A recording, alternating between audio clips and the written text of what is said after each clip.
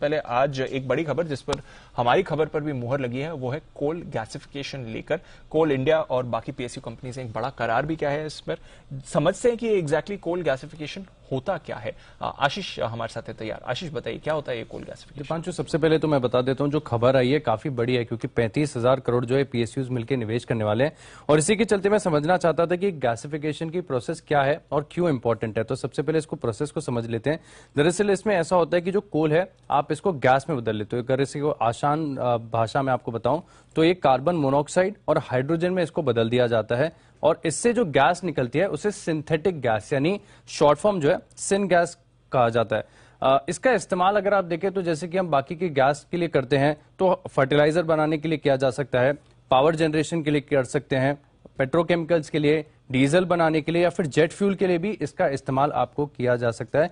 और साथ में अगर आप देखें तो इस प्रोसेस के द्वारा जो हाइड्रोजन अलग होता है तो आप हाइड्रोजन को भी एज अ फ्यूल इस्तेमाल कर सकते हैं। अब देखिए, बड़ा फ़ायदेमंद कोल इंडिया के लिए, इसके लिए है और गैसिफिकेशन से फ़ायदा जो है, भारत को भी देखने को मिलेगा।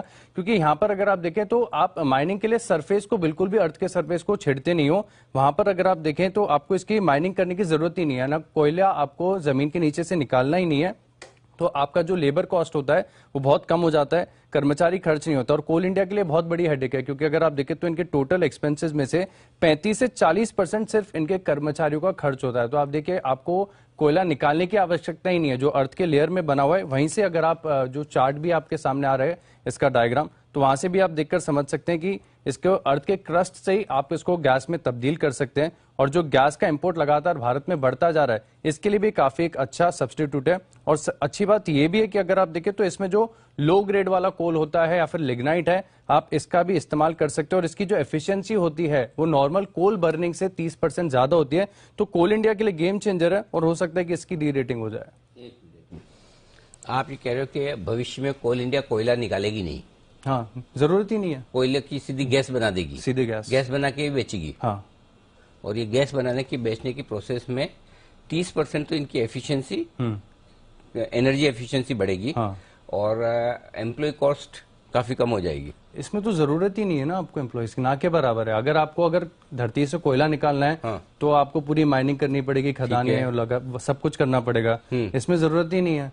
आपको दो होल बनाने हैं। अंदर के हाँ दो होल में हाँ। अर्थ के क्रस्ट में आपने आइडेंटिफाई कर लिया कि यहाँ पे कोल है। हाँ। आपको दो होल बनाने हैं। हाँ। एक तरफ़ से आप उसमें जो है कंबशन करेंगे ऑक्सीजन डालेंगे पानी डालेंगे। ऑक्सीजन और, पानी दोनों हाँ, डालना हाँ, हाँ, और दूसरी तरफ़ से उसमें गैस निकल आएगी।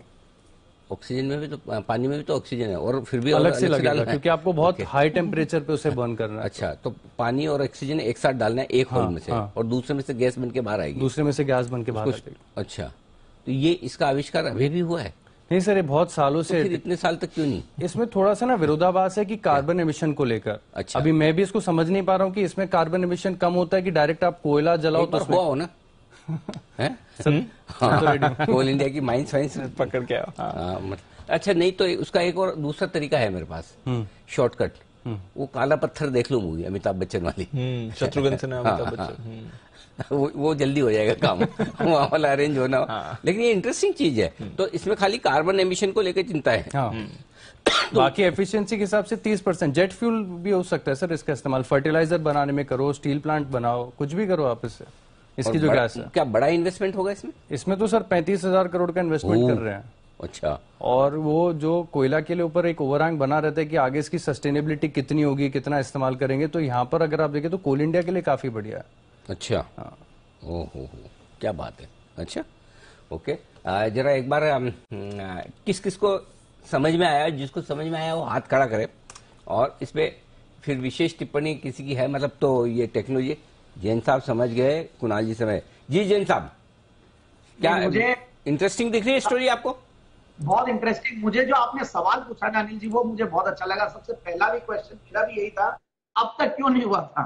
इतने सालों से जब गैस की प्राइसेस है so that's a very relevant question इसका जवाब हमें चाहिएगा और देखेंगे कैसे मिलता बट बाकी ये सिन गैस इसको टाउन गैस भी बोलते मैं भी अभी पूरा प्रोसेस को पढ़ रहा था फिर विकीपीडिया भी देख रहा था। सो so, और इतना एमिशन भी नहीं है जितना मतलब ये आ, सोच रहे हैं कि पल्यूट करेगा वैसा भी लगता नहीं है जो मैं पढ़ के समझ में आया।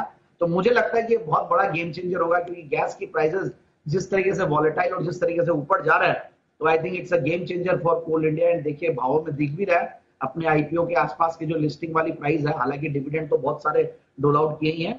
So I think it's a big thumbs up to Coal India बाकी जो आपका सवाल था मेरा भी वही सवाल है। अभी तक क्यों नहीं हुआ था? Let's see Kunal ji? Kunal जी?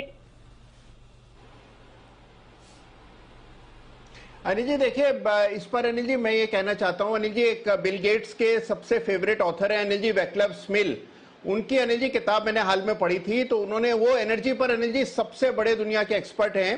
तो मैं चाहूँगा, आशीष भी उनकी किताब पढ़े। तो अनिल जी, उनका ये मानना है कि इसमें बहुत मैसिव आप देखिए एमिशंस होते हैं। यानी कि अगर आप कोयले को सीधा जलाते हैं तो जितना कार्बन डाइऑक्साइड बनता है, उसके मुकाबले दोगुना कार्बन डाइऑक्साइड ये गैसिफिकेशन करने के बाद होता है।